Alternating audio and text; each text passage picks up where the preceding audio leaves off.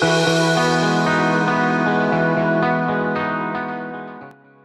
A well-functioning health commodity supply chain system saves lives. It provides the necessary essential health services for citizens with good quality health products, no overstocks or shortages. Afya Ugavi provides technical assistance to the Ministry of Health at the national and county level to ensure uninterrupted supply of health commodities, scale up and manage a robust and resilient health supply chain system of global standard. Our work engages technology, people, and processes to ensure health supply chains can grow and adapt to shifting demands and uncertainties. We help our partners identify these unique problems and implement solutions that improve the health system and ultimately the health of people for the long term. Funded by USAID, Afya Ugavi implements supply chain systems strengthening interventions across the 47 counties, with key partners including Ministry of Health Department of Health Products and Technologies, the Department of Family Health, the National AIDS and STIs Control Program, the Division of National Malaria Control Program, and county health management teams. Afya Ugavi is a usid uh, funded uh, five-year project that set out to uh, address the inadequacies in the health supply chain systems in Kenya. And our focus uh, has been uh, strengthening supply chain systems for malaria, HIV, uh, uh, family planning, and reproductive maternal child health we have realized significant uh, achievements uh, in the area of um, stewardship and coordination.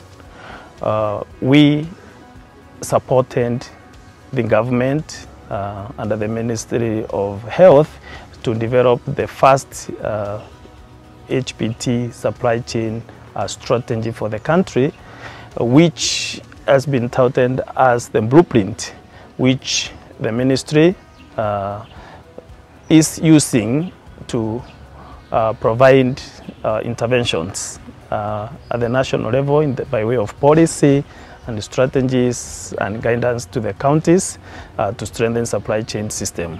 Afya Ugavi working uh, in close collaboration with the ministry, so we had the Ministry of Health, Ministry of Interior and Tourism, as well as the Ministry of Livestock, Agriculture, Livestock and Fisheries uh, was able to put together, uh, again, for the first time, what we are calling the Emergency Supply Chain Framework uh, that will be used uh, for uh, strengthening preparedness in response to infectious uh, disease outbreaks.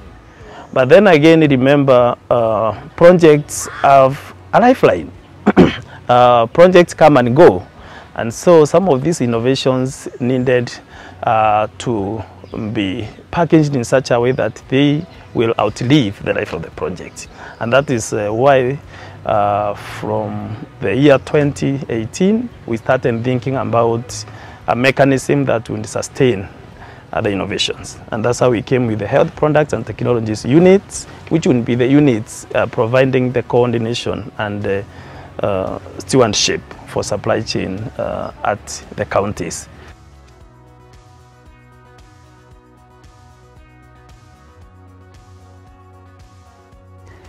Uh, one of the things that we realized as, uh, as government in the space of HPT is the fact that uh, most of the people who are given responsibility for managing uh, health products and technology did not have the advantage of having uh, training in course on how to manage HPTs. And therefore, all of them are required to learn on the job.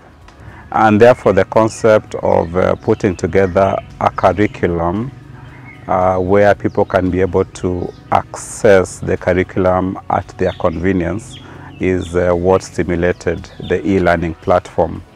Uh, we realized that for the e-learning platform to work, we need to incentivize it. And therefore the stage where we are right now is to making the e-learning materials count towards uh, continuing professional development.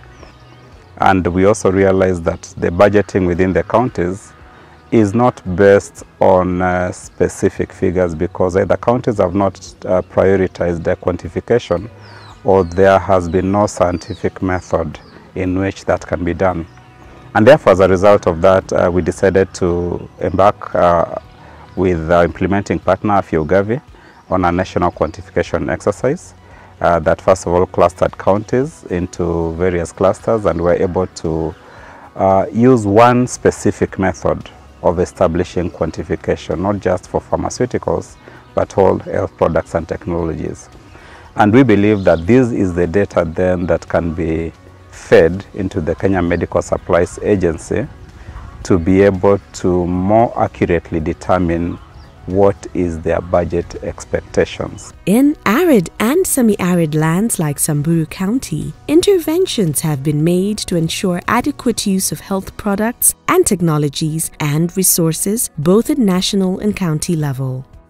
So the broader outcomes of uh, this technical assistance uh, uh, for Afya Ugavi has been ensuring that there is rational use of uh, medicines or health products and technologies. There is commodity security environment uh, in our health facilities. There is efficient use of uh, resources, both county and national, and generally ensuring that uh, health budget is actually uh, used efficiently based on the interventions that are actually applied. Our role was to ensure that the supply chain uh, system, the whole supply chain will not be affected by these challenges or will not be broken because we wanted to make sure that commodities are available uh, to the client uh, in, in, in, Samburu. So the other thing that we, supported as Afya Ugavi in uh, Samburu County was commodity data reviews and uh, these data reviews will uh, bring together the facility staff who actually are uh, the source of this data and uh, on a monthly basis or on a quarterly basis they will review their data and uh, they will identify uh, areas where there are, there are problems and where there are issues and then they will institute corrective action so that the data that is generated is of good quality.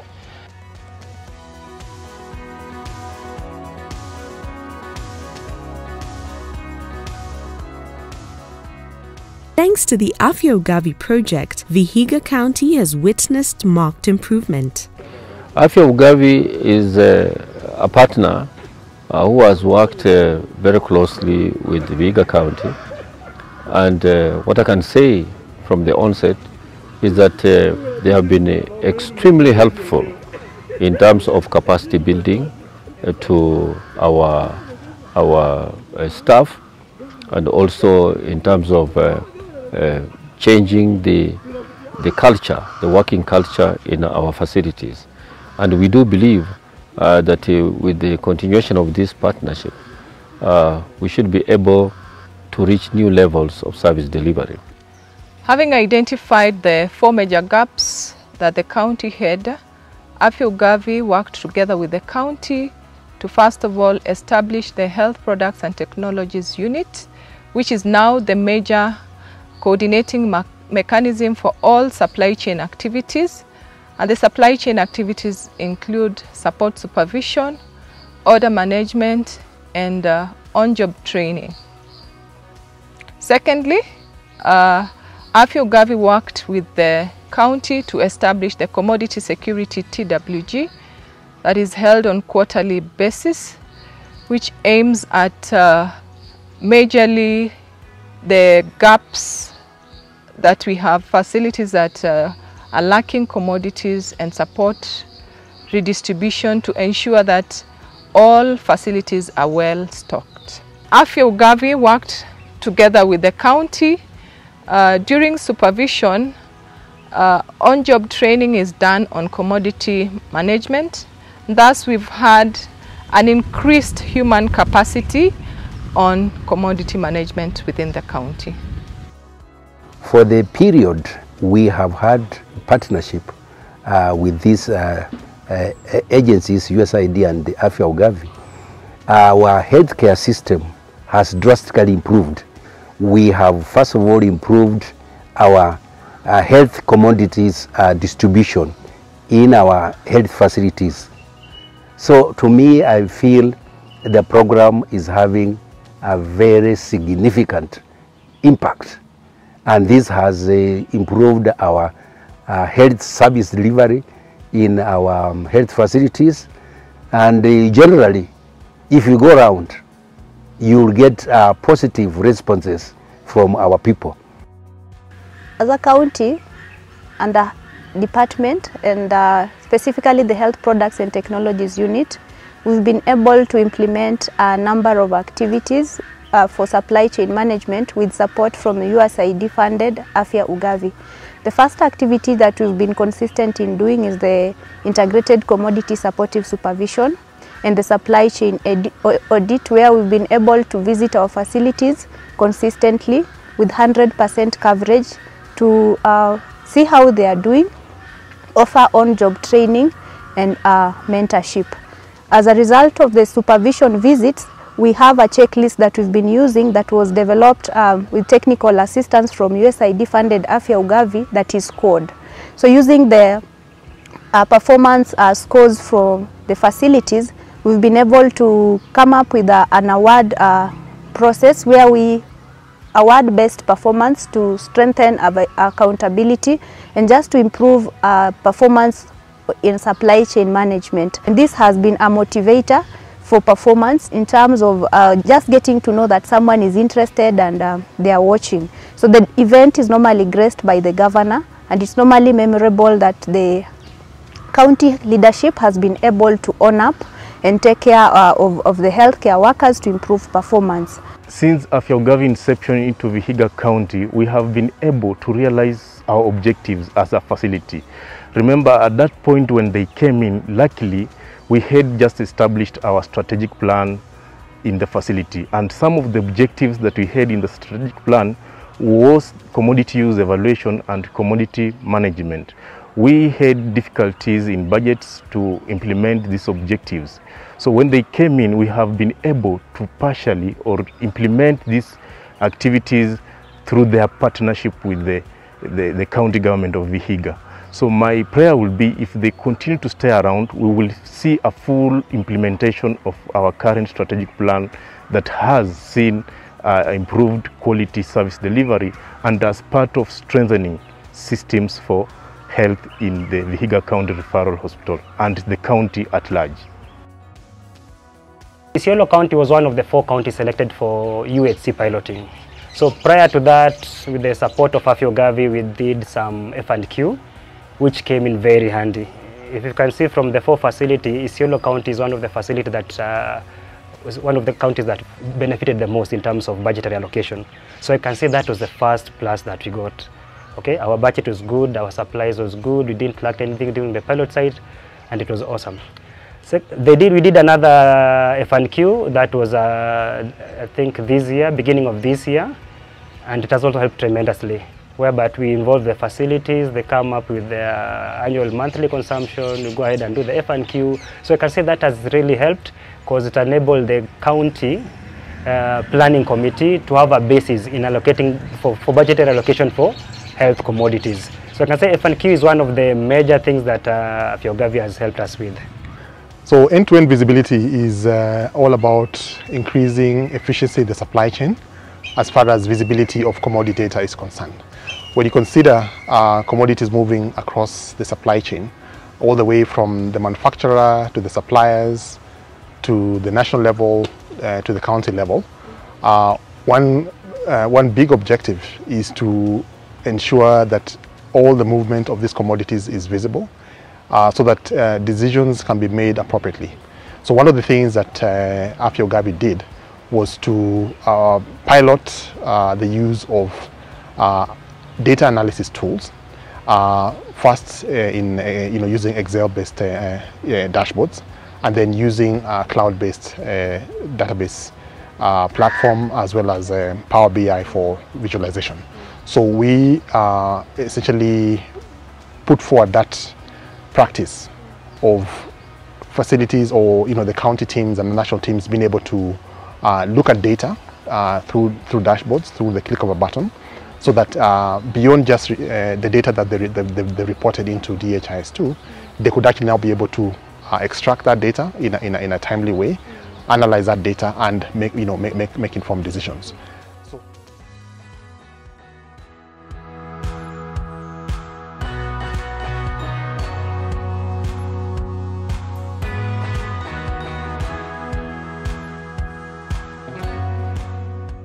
So in Tharaka County, you have this grievance redress mechanism, uh, which was established to help um, the citizens in the county uh, to be bringing up issues that they think are hindering um, service delivery in the county. And so the citizens are encouraged to be able to report any concerns they have about uh, any service delivery uh, or any issues that they find with the public servants that are offering services in the county. And so here they're able to send to us comp complaints, compliments, as well as any concerns. And as a county, we see this helping us to involve the citizens in uh, matters of ensuring that they feel that their concerns are received. And we also ensure that once anybody has sent a concern, they get a feedback on what has been done about whichever concern they have had. We now have a system, uh, we have now what we call, uh, we can now estimate and actually quantify what the patients need so that we avoid stockouts. Stockouts is a major reason as to why patients uh, we to, uh, I'll put it this way, used to uh, come here and uh, lose faith. We are the only sub-county hospital and most of them preferred going to neighboring sub-counties, you know, Oyugis and Kendu Bay to get services. As of now, the issues of stockouts has been minimized to a great deal. Uh, of course, uh, not only here, pharmacy department, but with the other departments. And uh, we have noticed an uh, increased, increased numbers of patients coming to our patient department. As a result of end-to-end -end visibility, patients like Susan have access to commodities that they need. Ninakuja tu na miguu, natoka nyumbani asubuhi, ninafika facility na ninahudumiwa vizuri. Wakati mtoto kama ako mgonjwa, anapimwa pia MRDT, yani malaria, ni kama ako positive na anapewa tu madawa. Ingine ni mashindano ya mtoto, hii ya kliniki. Ikifika mwezi tarehe yenye nimeahidiwa nifike mwezi hiyo mwezi tarehe fulani, ikifika hiyo tarehe fulani ninakuja na nahudumiwa vizuri. Ninawashukuru kwa sababu mahali wanatoka wanatokanga in, wako separated, kila mtu anatoka mahali anatoka, so wanatoka kwa umbali so ule anafika tu kwa facility anahudumia ya wengine wakifika wakute kama facility inaendelea. So nawashukuru pia venye wana struggle hivyo kuamka asubuhi kwao na kufika kwa facility na wako mbali.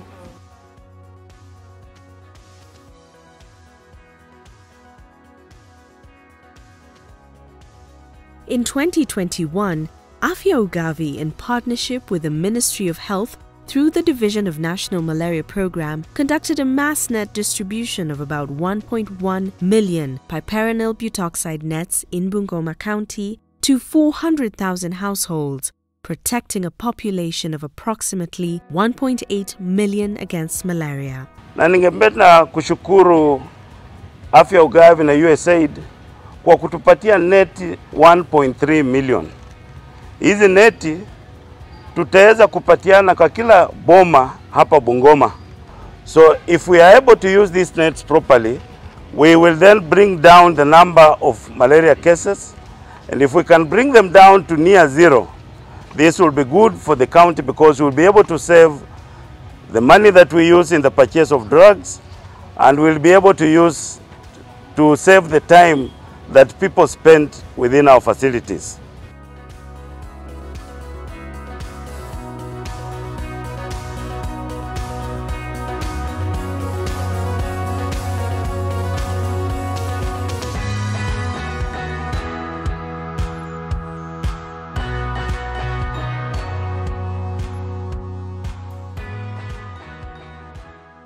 Centers of learning in relation to a facility, uh, this just signifies um, facilities that have embraced good commodity management practices uh, and in a way ensuring that the continuous availability of HPTs in their facilities. So the thinking behind this was that uh, we wanted uh, model facilities where other facilities would come to learn the best commodity management practices so that when they go back to their facilities, they'll be able to apply uh, the same and in so doing uh, increase uh, commodity availability in those facilities and thereby ensuring that their clients are served uh, as expected. Through the help of Afya Ugavi, Isiolo County was able to set up uh, a center of learning. Uh, that is at the pharmacy department. That's the point where we do on-job training and uh, sit-down trainings for our staff. So I can say Center of Learning has been of tremendous uh, improvement, not only for the pharmacy department staff, but also for the nurses and uh, clinic officers, the lab people, because we're like the focal persons who are doing commodity management.